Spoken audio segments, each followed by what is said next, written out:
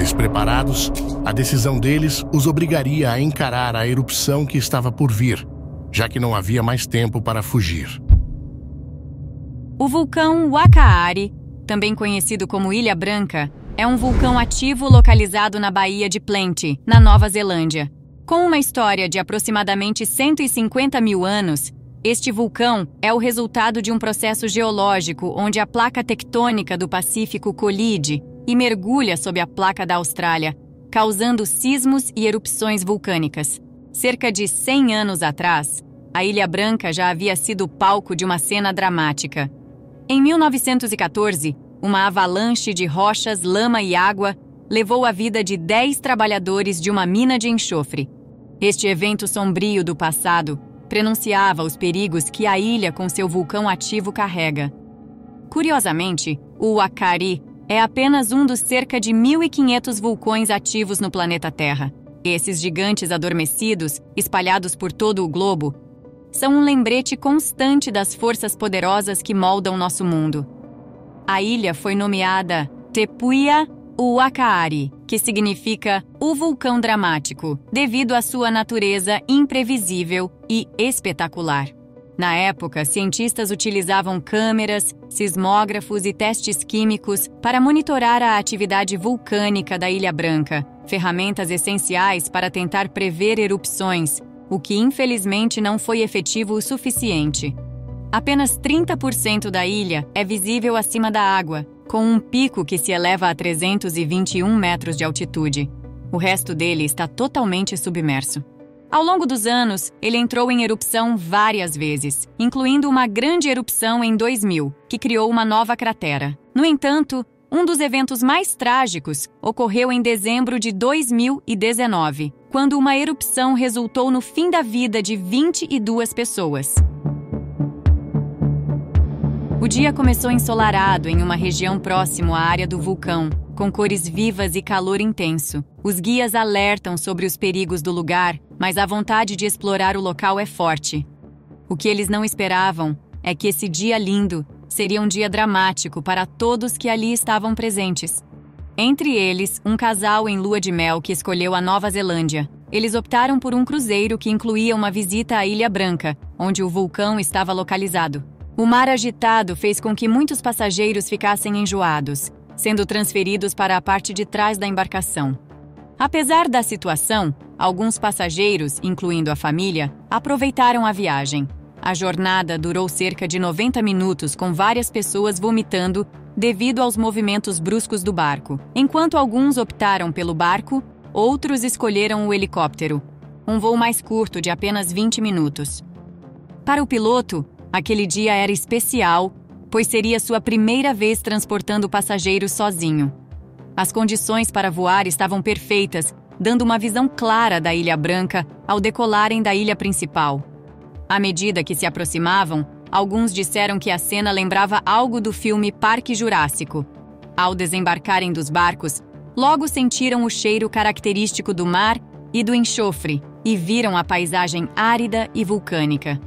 A ausência de lava e vapor passava a sensação de como se estivessem no meio do nada. Durante a caminhada, o guia explicou sobre os fenômenos naturais da ilha, como os gases que tentam escapar através da substância viscosa e a formação de estruturas de enxofre. Neste momento, o guia informou a eles que o lago costumava ter uma cor verde-azulada linda, mas naquele dia estava branco devido à possível atividade noturna onde havia caído cinzas.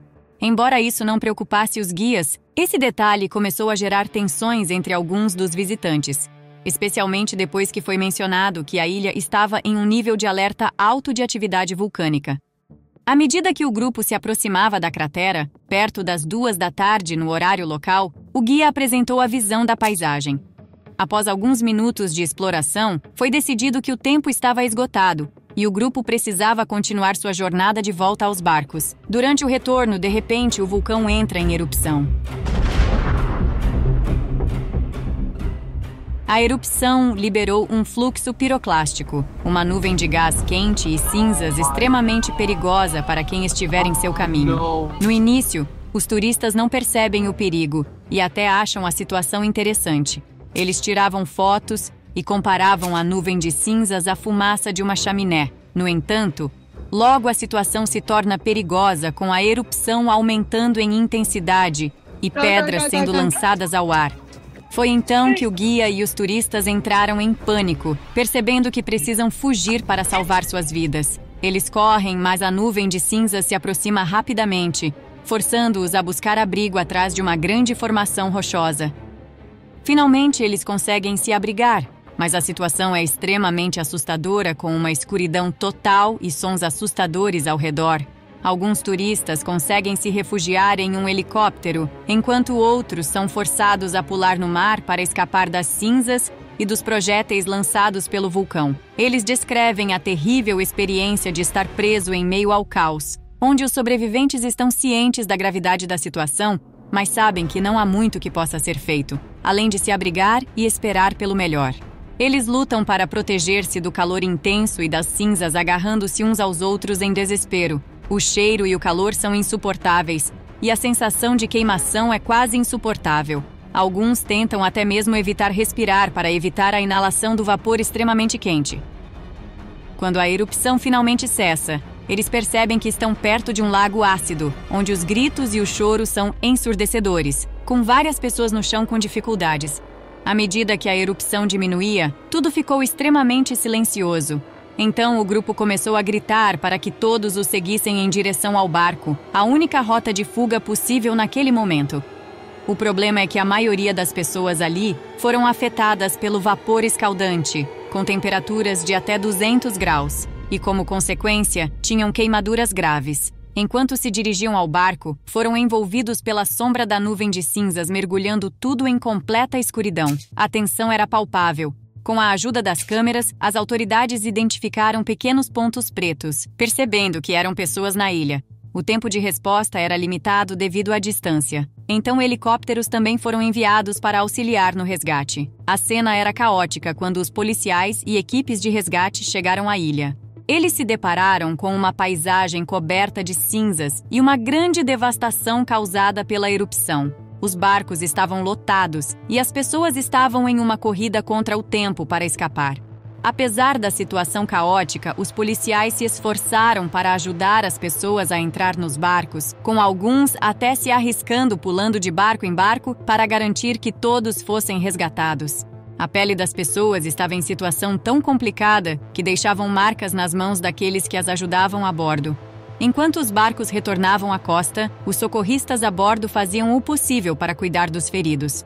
A viagem de regresso ao porto era angustiante, com as pessoas ansiosas por chegarem o mais rápido possível. Enquanto isso, a situação na ilha continuava crítica com pessoas desaparecidas e feridas esperando por socorro. Além das queimaduras e ferimentos, Muitos sobreviventes relataram sequelas auditivas, uma consequência do barulho ensurdecedor da erupção, descrevendo a experiência como extremamente assustadora e desorientadora. Um trauma que ecoaria em suas memórias muito tempo após o evento. Após este evento, houve um processo legal em que os proprietários da ilha e vários operadores turísticos, bem como agências governamentais e científicas, foram acusadas de não garantir a saúde e segurança das pessoas.